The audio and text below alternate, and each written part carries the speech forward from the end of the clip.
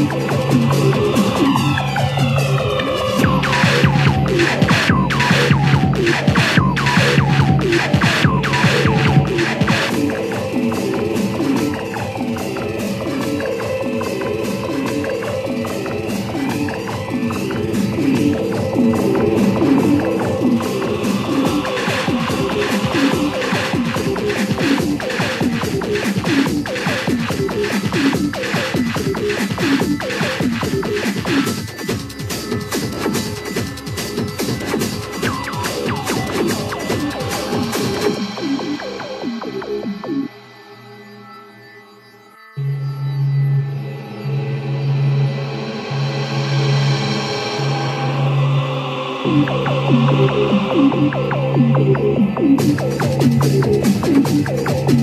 you.